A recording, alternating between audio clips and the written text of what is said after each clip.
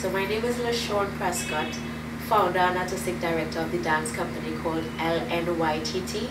It was formerly called L Incorporated and we changed the name to NYTT in 2010 when we legally established a branch of the company in New York. So the NY stands for New York and the TT stands for Trinidad and basically we're a company, we have um, two sides. So one aspect of it is a school where we offer classes both for kids and adults, open classes in ballet, modern, hip hop, dancehall, Latin, am I forgetting anything else? Soca and folk, mm. most importantly.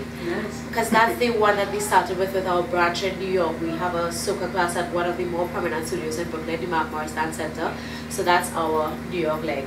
And in Trinidad, we have classes in Cascade, in Curepe, and Marabella. We have a team of very strong teachers. Um, so even though I'm based in New York, we have persons who manage and run the company in Trinidad. Okay. And the second part, sorry for just jumping in, the second part of the company is the performing side. So we do have a performing company. Um, and we did our first performance in Queen's Hall. I can't remember the year.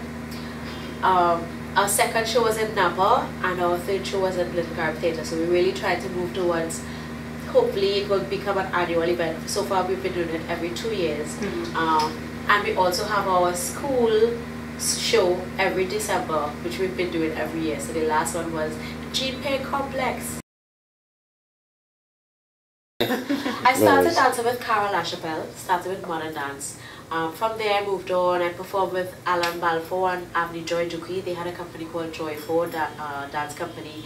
Alan also had something called Trinity Dance Theatre.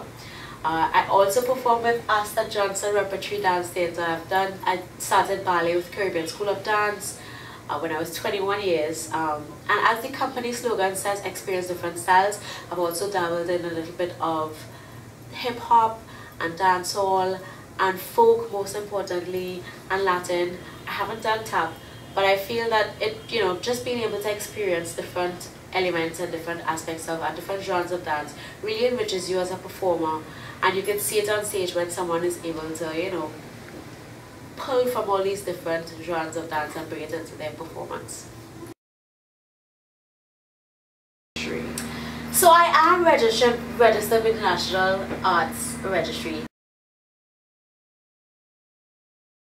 I was so enthusiastic when I heard about the initiative because when I was working at the Ministry of Trade, um, we had a series of stakeholder consultations and stuff and people always talk about this problem in the arts of lack of funding.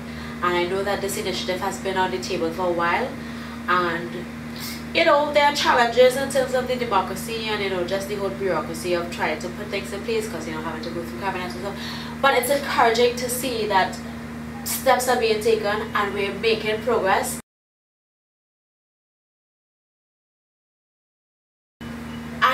I, I haven't accessed the 150% um, tax benefit awarded to registrants in the National Arts Registry, but I am looking forward to accessing that incentive this year.